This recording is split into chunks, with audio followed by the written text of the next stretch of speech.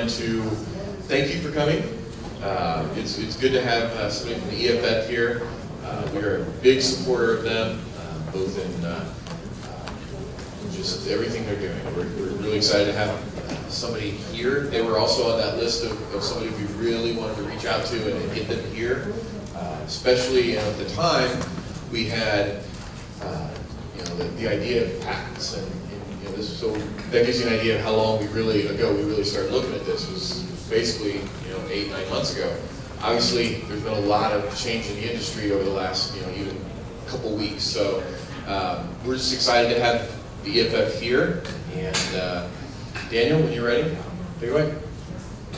Thanks, Jeremy. Uh, and thanks to XDA for having me here. It's, uh, it's a good community for us to talk to. We, I'm sort of mostly going to be bringing the bad news today, which is patent trolls. Um, and uh, yeah, I heard a, a hiss, and uh, it's well deserved.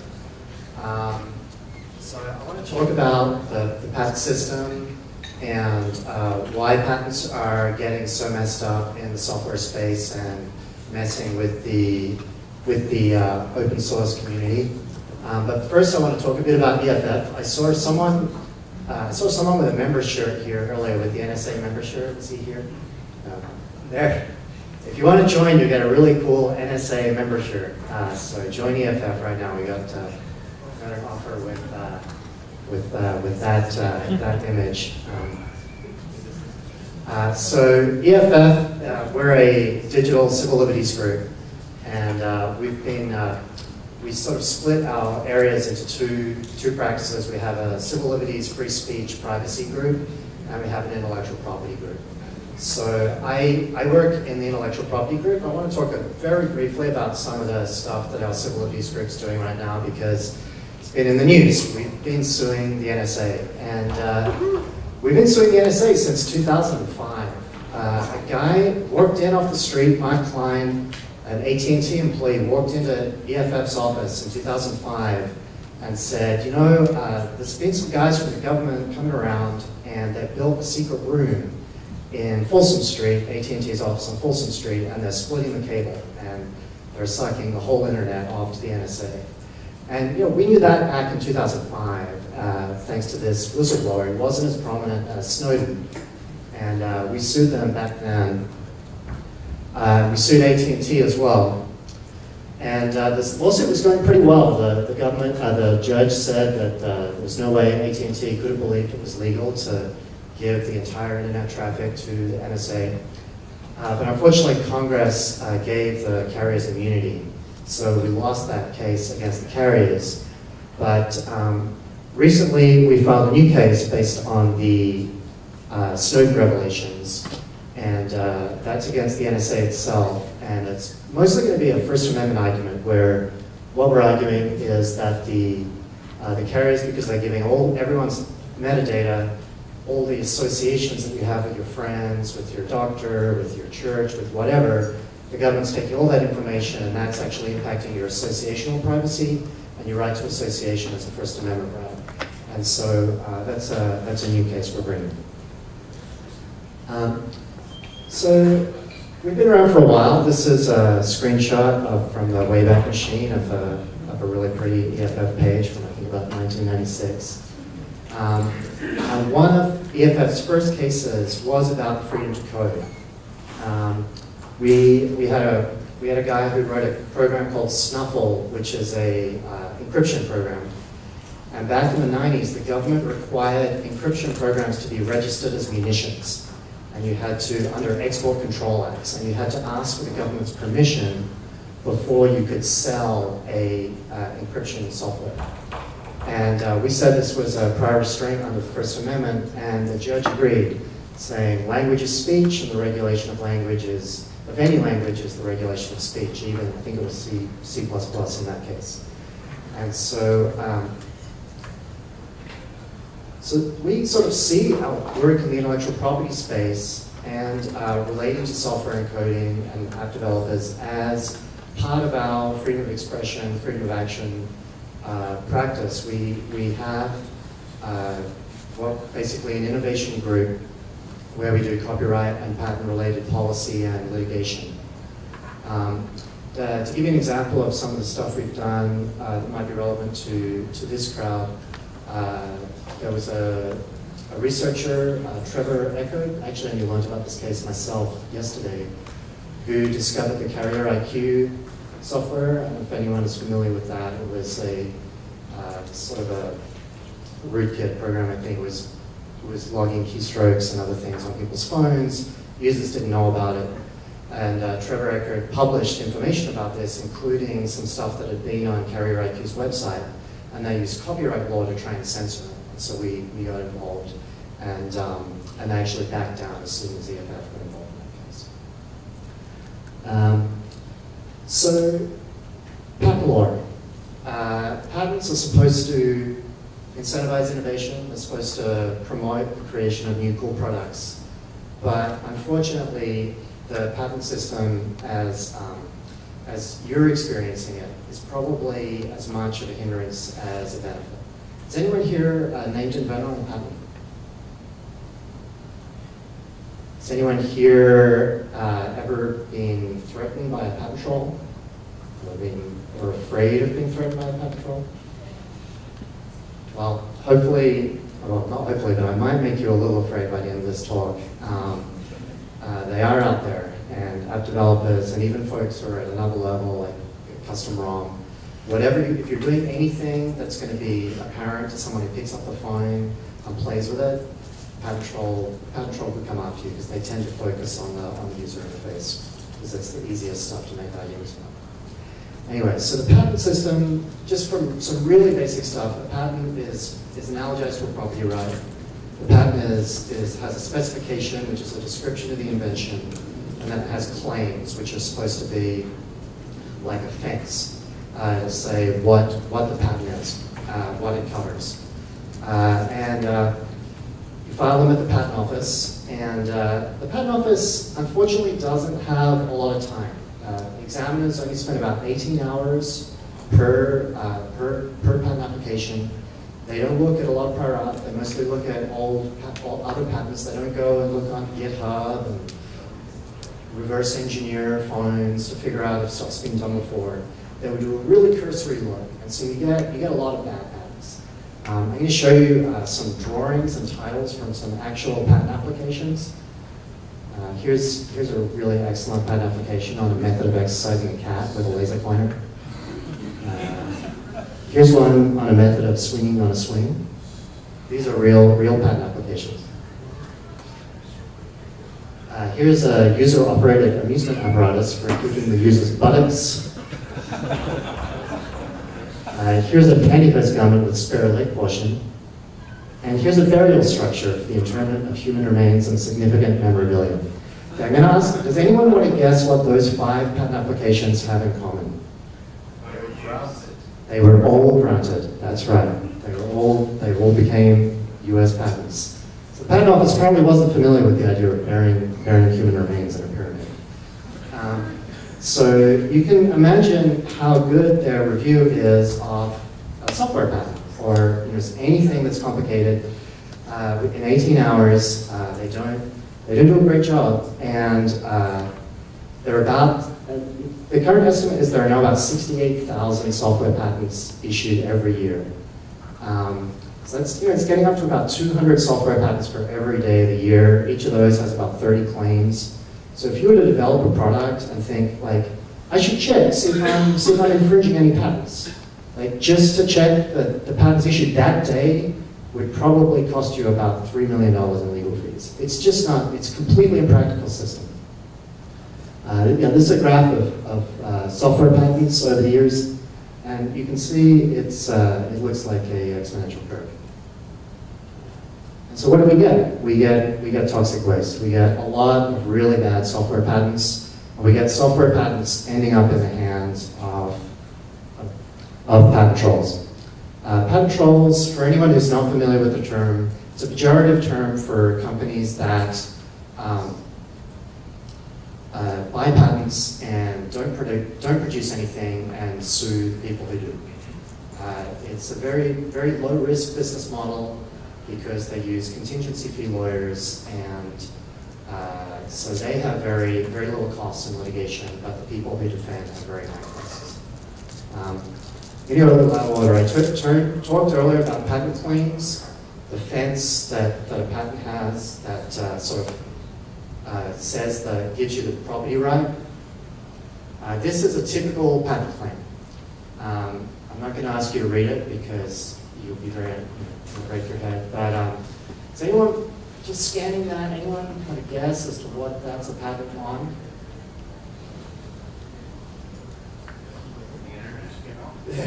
No. on pop-up windows. So if you you can you can infringe that patent with three lines of JavaScript, uh, but the claim you know, the claim itself is written in this just indecipherable gobbledygook that looks like it's technology, looks like it's some kind of invention. But you know, there's a patent troll who actually sues people for having pop-up windows on their websites.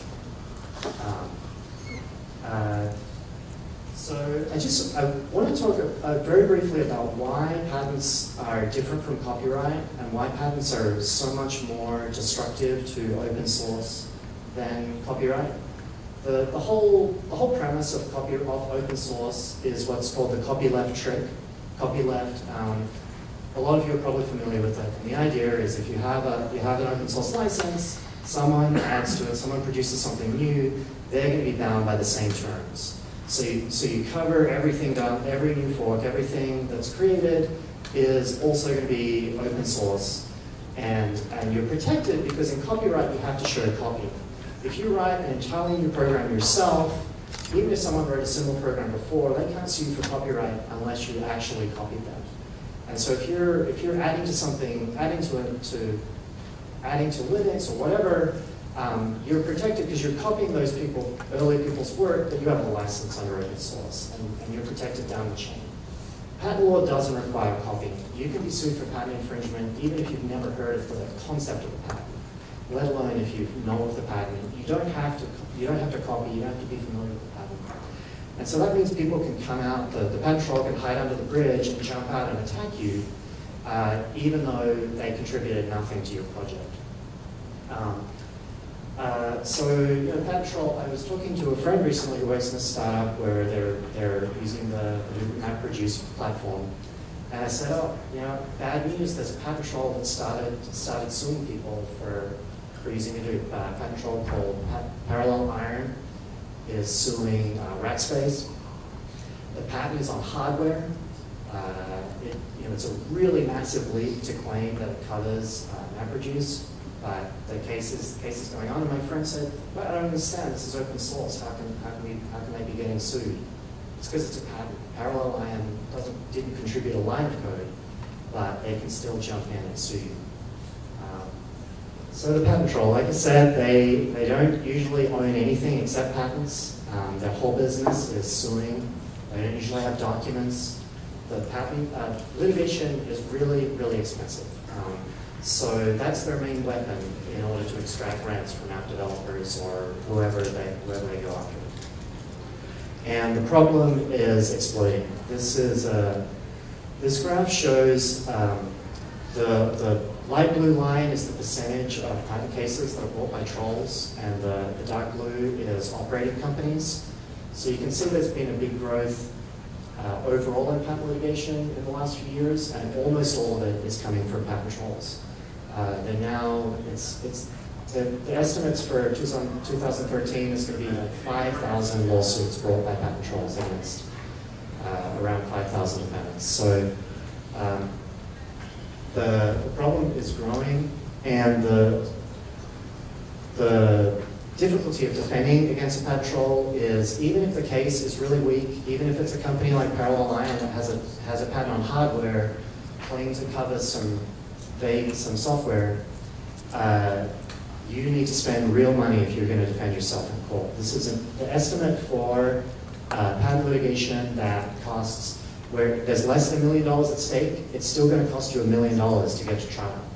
So unless you're a big fish, unless you're Apple, Samsung, Sony, if you're if you're a smaller company, uh, you you really don't have an opportunity to defend yourself because it's just too expensive. And the patent trolls know this, and so unfortunately they've increasingly been going after small companies. Uh, patent litigation, people used to call it the sport of kings, it's so expensive, it was just the big, big players fighting each other. Increasingly, patent trolls are targeting startups, app developers, um, what, uh, hotels, uh, they've, they've been suing cafes for providing Wi-Fi.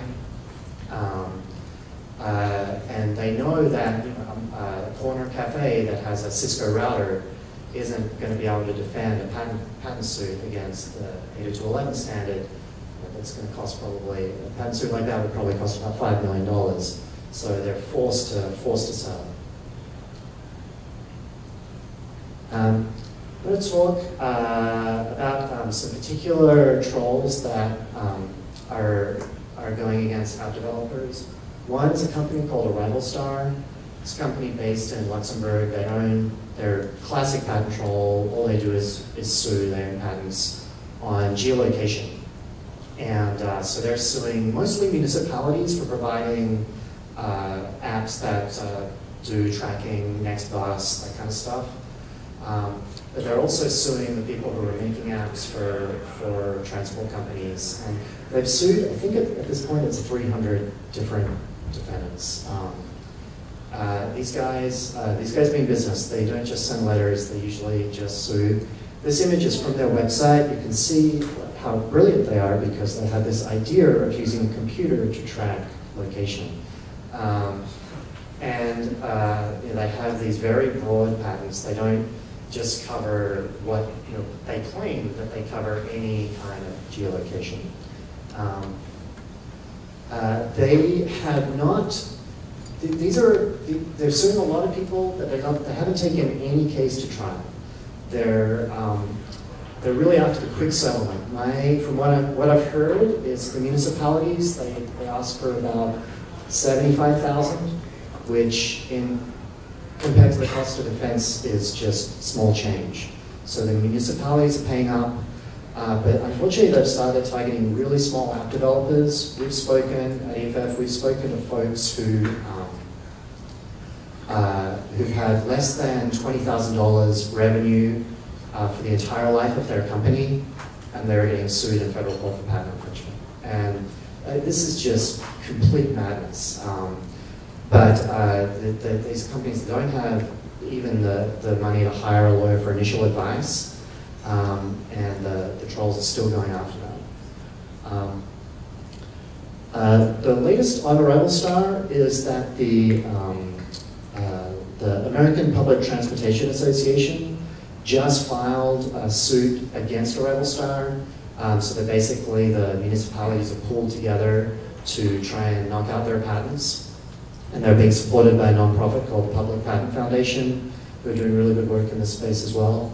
And uh, so they will they will try and knock out these patents, but that could take easily could take two years. So in the meantime, they're going to be picking off the app developers sort of one by one for 10 grand, 20 grand. Um, the, the unfair, I, I, imagine since it's a crowd app developers that that folks feel that situation is pretty unfair, and it, it really is as unfair as it sounds. I mean, these are people who have just done absolutely nothing for the industry. No one's, they've never written a line of code for any of these apps. Um, and they just, they've got their hand out for, for as much as they can suck out of people. Oh, uh, here's a summary of what I just said. Um, oh yeah, we did file uh, a reexamination. That's a uh, a procedure at the patent office where you, you challenge you challenge the, the patents in the office. Um, and we did manage to take out one of their patents, but uh, they have they have a lot more. So unfortunately, you know, uh, it's really hard for for nonprofits. Patent litigation is so expensive. So we, we made all this effort. We knocked out a patent, but they have more, and they're still going. So we were we were happy to make their life harder, but unfortunately, um, it'll take take more effort to kill these guys. Has anyone ever heard of Lodsys before? Yeah. Um, so these guys are uh, another classic troll. Uh, they're a shell company in the Eastern District of Texas. They bought their patents from a giant aggregating troll called Intellectual Ventures. Uh, the exact relationship between them and intellectual ventures is not, is not clear to those of us that haven't seen uh, the documents produced in Discovery, but I would estimate based on other cases I've seen that they're sending 90% of their profits back to intellectual ventures. A lot of intellectual ventures claims this is an independent company, we don't have anything to do with these cases. The deal that was made when the, these patents went to Lodsys probably mean that IV is getting all of this money. Um, that, that image is an image from the patent. Um, as you can see, it's, it's cutting, cutting edge technology. Um, these guys have a patent that they claim covers all any kind of in-app purchase. Um, the patent is basically about uh, being at a fax machine and being able to, to, to call out to a central office and make some kind of transaction while you are sending your fax. Um, but because of the incredibly broad language of the claim, they claim it covers modern uh, applications on brand new smartphones. Um, so the Lodsys update, they filed uh, 27 cases in January uh, against a really big mix of defendants, against some really big, big players like Disney and against some really small app developers. They're suing the small app developers just to put the fear of God into other app developers. I doubt they think those actual cases are worth the money they're going to spend on them. Um, Apple has intervened in this litigation. Their, Apple has a license to this patent. And so they have an argument that their license should cover anyone who's using, anyone who's an app developer on iOS. I, unfortunately, that license is still confidential. It hasn't been produced openly in this case. And so it's hard to give a real, it's hard to know how likely that case is to win. I, I just want to be hesitant. I think the Supreme Court has been really strong on the idea that licenses should give the people down the chain protection. So there's real reason to think that Apple could end up prevailing here, but this case is going on, and meanwhile the app developers are getting threatened. Um, Google filed a re-exam against the patent, that's still going on as well. Um, the case is headed to trial, and they're going to try the Apple's license defense at the same time. I know not many people in this room probably do Apple uh, develop on iOS, but um, uh, uh, that should protect that community, and the, um, the, overall trial on validity will happen in October. So we may get uh, uh, either some very good or very bad news this year on Lodsys. Um, uh, and the other, there was actually some good news this week. did anyone hear about the TMSoft case? This is Todd Moore. Um, he, he wrote on his blog about, uh, about Lodsys and what terrible people they are. And they, they didn't like that, so they sued him. They sued him for patent infringement based on a little app. Uh, I think he'd made about $10,000 in revenue on that app over its whole history, so it made no economic sense. It was clear retaliation for his speech against, uh, against Lodsys. And uh, a lawyer called Dan Ravicher of Pub, Pub Patent stepped up and represented Todd for free, and they filed, they defended on arguing that it was actually retaliation for the speech rather than a legitimate patent case. So they argue a First Amendment defense, and under Texas law, you can get fees if you win that kind of defense. And so that case was really new. I was going to talk about it, how it had just been, been filed. And just, I think, um, Friday, maybe Thursday, this week, uh, Lodsys has settled that case and agreed to drop the, drop the suit. And, um, which is great, it's a great victory for Todd. Uh, it's a great lesson in like standing up to a patent troll. Uh, I was really excited for Dan Ravicher, the lawyer who did that. Um, but uh, it's something to keep in perspective though, that uh, uh, Dan calculates that his bills, if he had been paying his like commercial rate for that case, he would have, he spent about, two, they spent about $200,000 in legal fees. And so, so sure they fought back, sure they won, but it took 200 grand of free legal services for him to do that. And that's just not going to come around for a lot of, a lot of people. So meanwhile, everyone else is, is, still, is still in the firing line with these guys. Um, uh, I'm just going to put up uh, a haiku. Uh, let's listen to the west wind. The west wind seems to say, this is not legal advice. I'm not your lawyer. Just, um, uh, I just want to make clear, I'm talking very generally. If you decide how you're going to deal with Lodsys based on what I say, uh, if you really if you really need to make a decision about about Lodsys or any of these trolls come after you, you probably do want to talk to a lawyer. Um, and I want to talk give give some really general uh, ideas about how, if you ever find yourself in the unfortunate situation of dealing with a pet troll, of how how you might want to deal with it. Um, one thing to remember is that these letters, they make them look as scary as possible. They make it say, you have to do this, you have to do that. You can't tell anyone about it. A letter is just a letter. It's not a contract. You haven't agreed to anything. You can just, you know, take a deep breath. Don't panic. It's just a letter.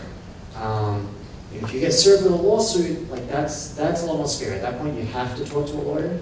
If you get a letter, if you're a really small company and you don't have extra money to hire a lawyer, you can do your own research into the troll. There are some trolls out there who, who haven't been suing people, they've just been sending lots and lots of letters. If you get a letter, if you do some research, you find out it's one of those trolls, maybe, the, maybe the right thing to do will be to do nothing. Um, and they've done research on small companies dealing with patent troll threats. Cheapest thing to do usually turns out to be to do nothing. Um, unfortunately, that's not always true. Um, so uh, if you do find out, if you do talk to a lawyer, particularly if you get a, you get sued, or if you if you get a letter from a, from say ArrivalStar who are much more likely to to file suit. Um, the key is to find out, really work hard on trying to use your networks, talk to other people, try to find a lawyer who understands your business, particularly your size. If you just go to like the local patent specialist at a big firm, they're going to have a lot of really, really expensive solutions for you. And these may not be the right things for you to do. Um, uh, so, um, uh, if you actually end up in a case, you really want to look whether your own art, your own products perhaps predate the patent. If you can show that to the troll, often that, that can scare them away if they think you're going to be someone in a big case that's going to be going to be a problem, going to just cause them to lose.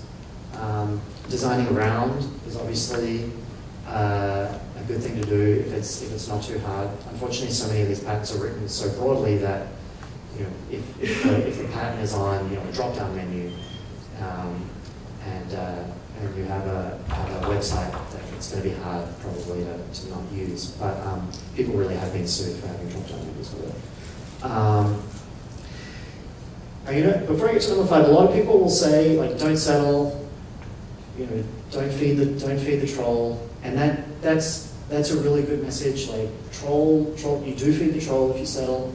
You do give them money that they're going to use to hurt other people. Um, so it is like the morally right thing to do is to fight the troll with every last ounce and every last dollar.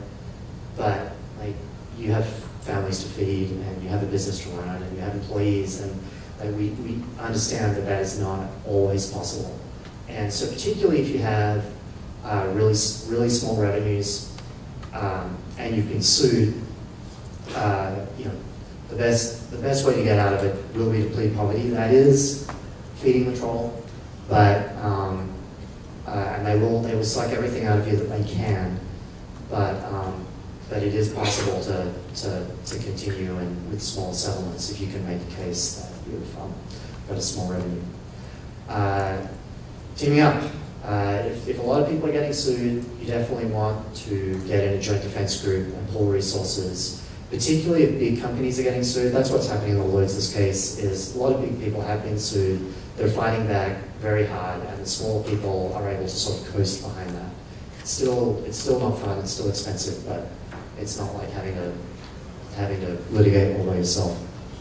Um, the, let's skip to eight. Don't be an easy target. These, these are sort of adapted. You'll see a URL at the bottom from um, Professor Colleen Chien and a lawyer, Stephanie, I forget Stephanie's last name right now, from, uh, they have, they have 10, 10 uh, suggestions. It's a, it's a good thing to look at sort of for a first, first idea of like how, how to deal with patent trolls. Don't be an easy target. What, what they recommend is not, not making things too public. Um, don't make big announcements unless you have to, so be really careful about how much technical detail you have. in announcements so that the trolls don't have things that they can claim, they can then go to court and say, ah, we know you infringe. Unfortunately, in front of an open source community, that's not really advice you can follow because you have to make your code um, uh, public.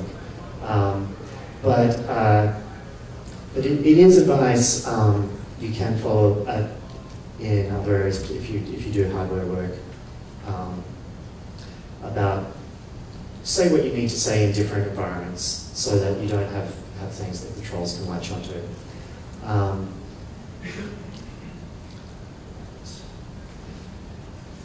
so that, that's sort of the bad news um, uh, that these trolls are out there. There, these, these, this. You might look at this list and say, you know, this really isn't that satisfying. If I get sued, you didn't give me a silver bullet. And the, the bad news is that it just isn't a silver bullet. Uh, um, if they once they file suit, it probably will cost you a lot of money, and there's just no way out of it. Um, but uh, what, what, we want to think about ways that in the future we won't have so many patent trolls. Um, has anyone heard of Twitter's Innovators Patent Agreement, the IPA? Um, so Twitter has proposed a new uh, agreement they'll have with their developers that when they file for patent applications, the actual named inventor will sign a contract with Twitter where Twitter, there's a few features to it, but the, the main thing is that Twitter will agree not to use these patents offensively and that it'll bind subsequent owners of the patents so that it'll never fall into the hands of trolls. Most patents that are in the hands of trolls came out of bankruptcies. So startups, a lot of startups fail, that's, that's sort of the natural cycle, and the assets that are left are these patents that end up, uh, about, I think it's 90% of patents that get sold at auction end up in the hands of patent trolls now. Um, so when you're getting, if you're, if you're getting a patent, if any, any of your businesses are getting a patent, think carefully about the afterlife of that patent and that, that try and make sure it doesn't become the toxic waste in the hands of these patent trolls. And one way to do it is to have contracts like the IPA. Um, it's up at GitHub and uh, Twitter's website. If you Google Twitter IPA, you'll find it. There's another one that a former EFF lawyer called Jason Schultz is developing called the Defensive Patent License. Um, it's more detailed. It's probably, um, uh, uh, it has a similar similar idea that the, the it's trying to create a network of people, and you can also this the DPL will also be a potential cross license between companies where they agree only to use patents defensively. Um, there are similar things. There are patent pools, as Red Hat and um, Google has a has an open patent pledge. They just um, last week added 79 patents to their open patent pledge and agreed not to go after open source. Um, but uh, unfortunately, these and the Open Innovation Network, some of you might be familiar with that. Unfortunately, this is only a limited universe of all the patents that are out there, and the trolls aren't bound by any of these agreements. But they are beneficial in keeping as few patents in the hands of trolls as possible, and also in keeping the, a lot of the most dangerous patents out of the hands of trolls, the patents that would really could really go after anyone who's using um, you know, stuff that probably reads on any Android device, any. Also, one thing to remember about patent law, unfortunately, you can be sued at any level of the distribution chain. The OEM could be sued, the, the, the network could be sued. Anyone who's selling the device, and even a user can be sued. This is how patent trolls are going after cafes for providing Wi-Fi, for uh, buying an off-the-shelf router, putting in a cafe, uh, get a lawsuit. This is a company called Innovatio is doing that. Um, one thing, uh, EFF, we just launched a website called Trolling Effects and uh, has a bunch of information about the problem. And um, also, it's supposed to be, it will be a crowdsourced database of troll threat letters. So if anyone has letters from Lodsys, if you get them, you can upload them here. And it, the idea is it will help people keep track of what these trolls are really doing. They, they operate in the shadows as much as possible. So this is going to be a trolling effects, effects.org. Um, the, the database will be downloadable. Um, and uh, it's already been useful. We've already gotten a letter from um, uh, the, there's a there's a patrol that's going after lots of small offices for providing scanners uh, connected to email. So if you If you scan a PDF and email it, you can get sued, uh, or they'll threaten you to sue you. Uh, they've sent literally thousands of letters, um, but they haven't sued anyone. These are these are real bottom of barrel folks, and uh, we've already got letters where if anyone fights back and sends a letter saying, you know, I'm gonna, are you really serious? I'm gonna go to court and sue you first. They send a letter backing down. So we've sort of already got out the record that these guys back down as soon as they're challenged.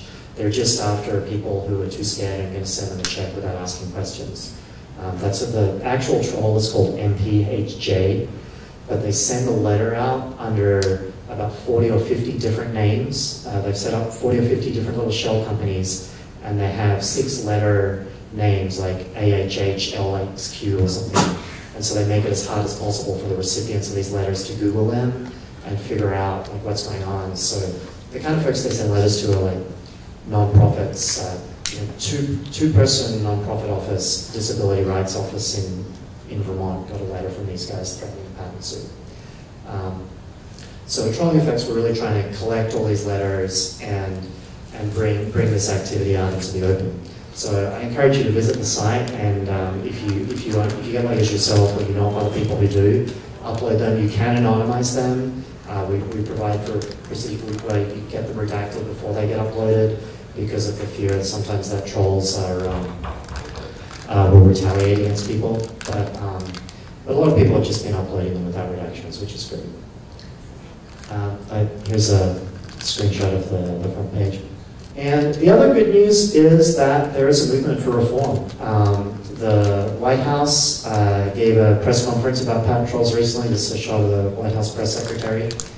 Um, and they, the problem has grown so much. Usually patents are like kind of this obscure area that only, uh, only talked about among lawyers and, and within IP departments at, at big companies.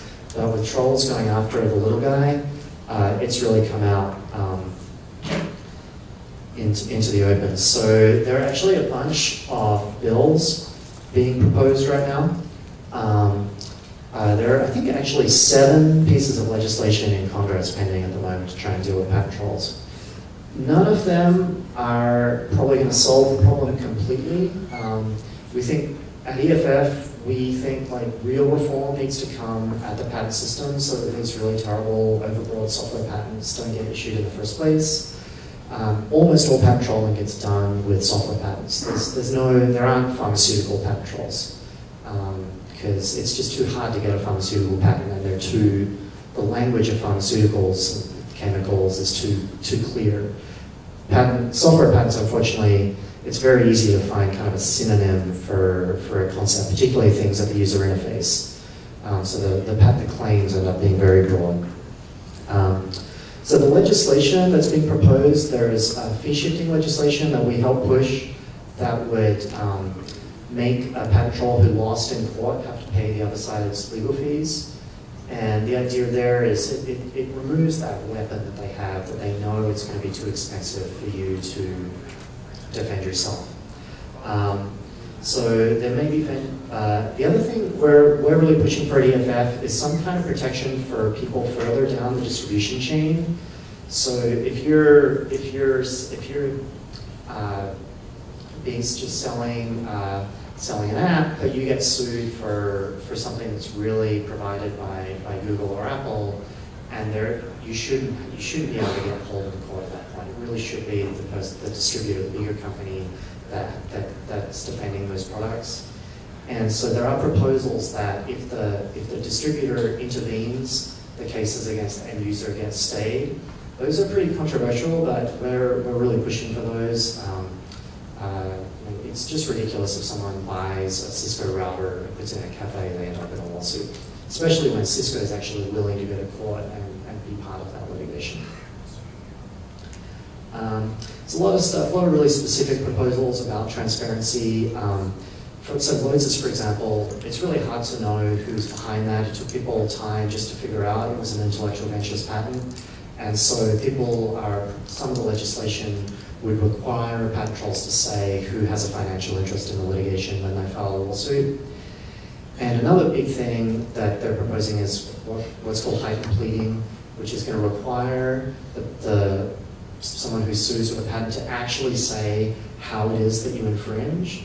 Unfortunately, what's happened, what happens now is a tool like Lodsys, who has this ridiculous patent on that came out of fax technology, they can just file a lawsuit that says your app infringes this patent, full stop. And they don't have to explain why, they don't even have, they don't even have to say which claims of the patent are infringed. It makes it really easy to, to file lawsuits without, without scrutiny, without having to do due diligence.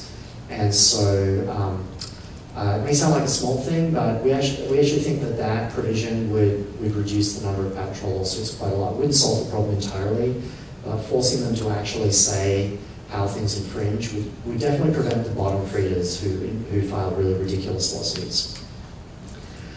And I would, uh, one thing I would put out a call, if anyone here like ever gets a letter from a patent troll, um, call your representative. Like they, they actually care. Um, I was pretty cynical when I came sort of from litigation to doing more policy stuff.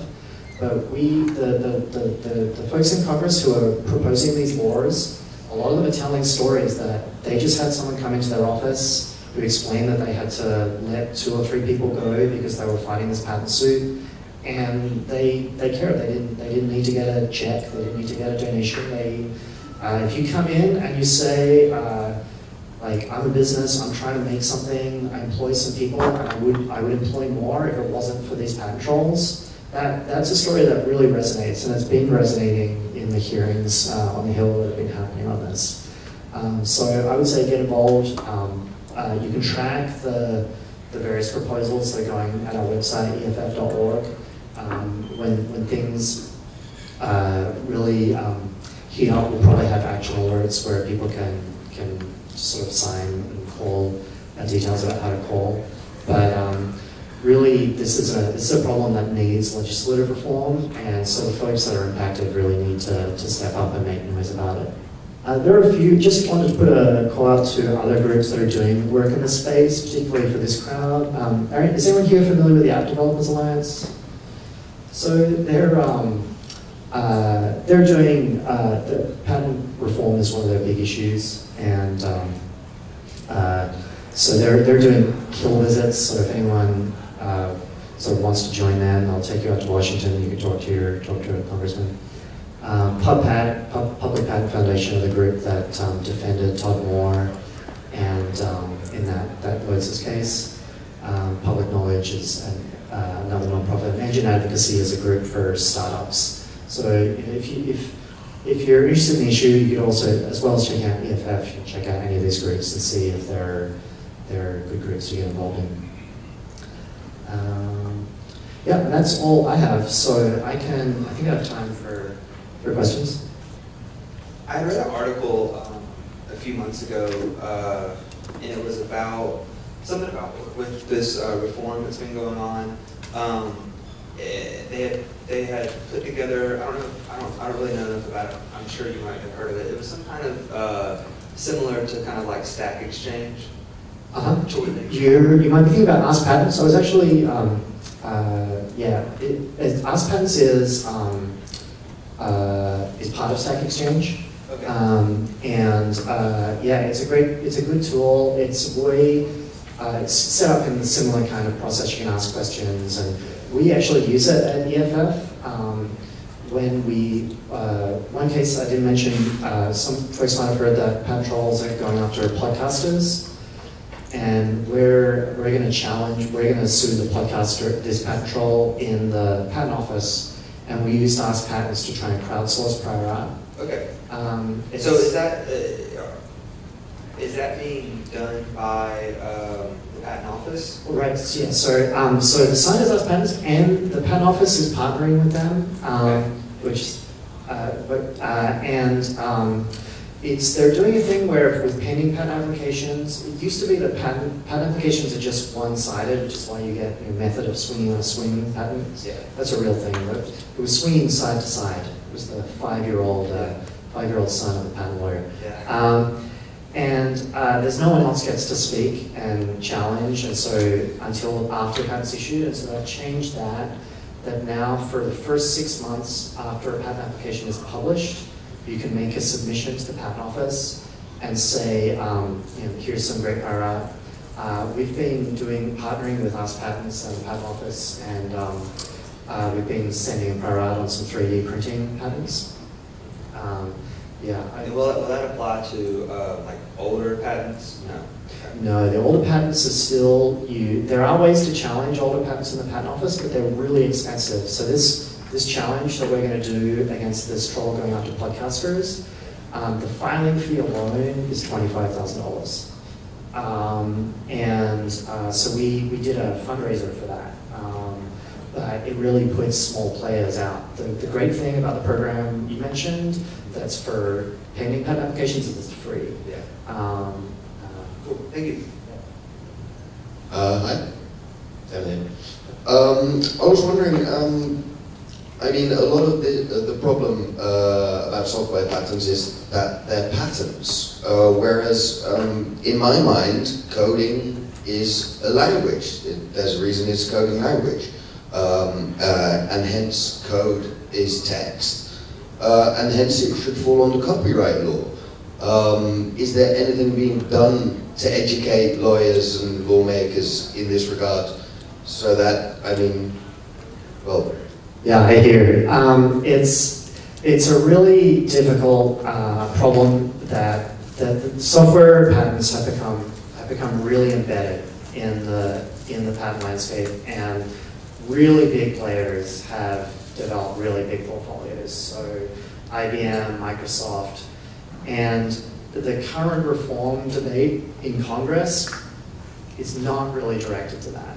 There is a little bit of movement to, to making software patents less broad and vague. What, what's called functional claiming is where the claims cover any solution to a problem rather than a specific proposal. And that would, that would improve things, but it would not be the solution like getting soft patents out of the entire software space.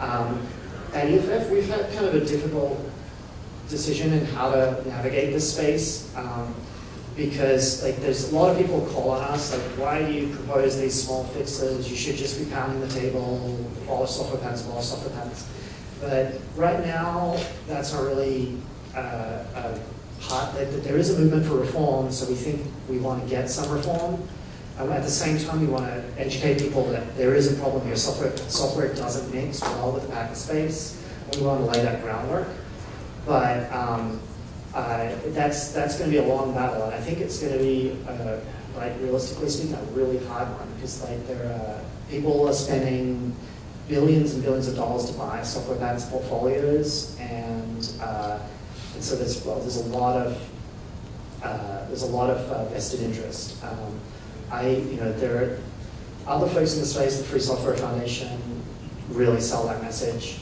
Um, we we've tried to to to talk about patent trolls and explain that patent trolls are a software patent problem, um, so that uh, so that the legislature allows people in Congress understand that. Um, uh, and I would love to see a bill that said no software patents, but it's not going to it's not going to come soon. Um, quick question. Uh, why is it that a recipe for like cookies is not subject to IP? It's but it's components and, and logic and steps, right?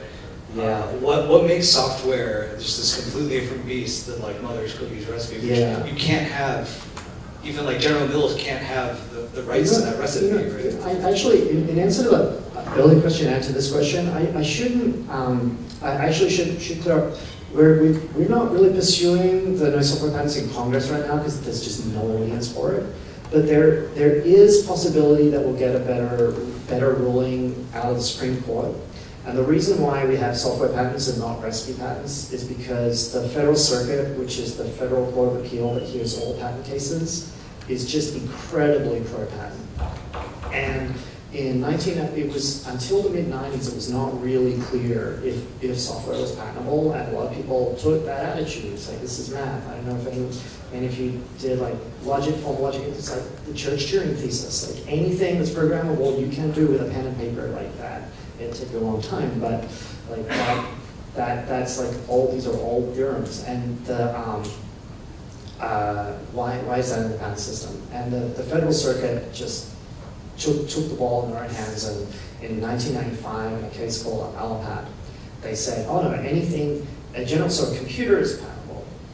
And so they're basically saying, well, a programmed computer is therefore patentable. That, that was their that was their reasoning. It's, it's pretty much exactly what they said in the mid 90s, and that just opened the floodgates. So, So is there a country we can flee to? I mean, is it, does the opening it up to international jurisdiction make you more or less? yeah, I think the airport in Russia in Moscow.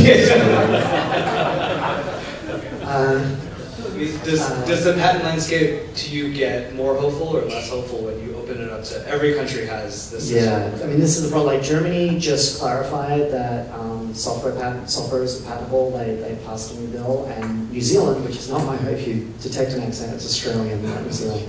Um, uh, New Zealand just passed a really good bill um, make, uh, clarifying that software is not patentable.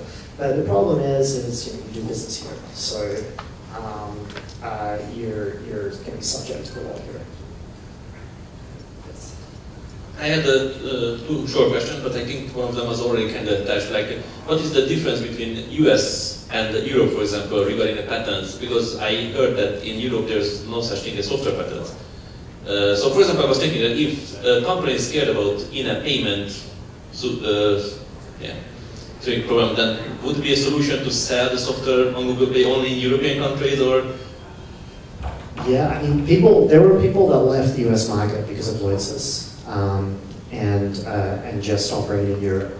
Um, uh, the um, uh, Europe doesn't have software patents. The thing, the the big argument in in Congress against the idea of getting rid of software patents is, oh, it's so hard to, to draw the line. Like, what is a software patent? You know, what's not, like a lot of things could be done in software or hardware.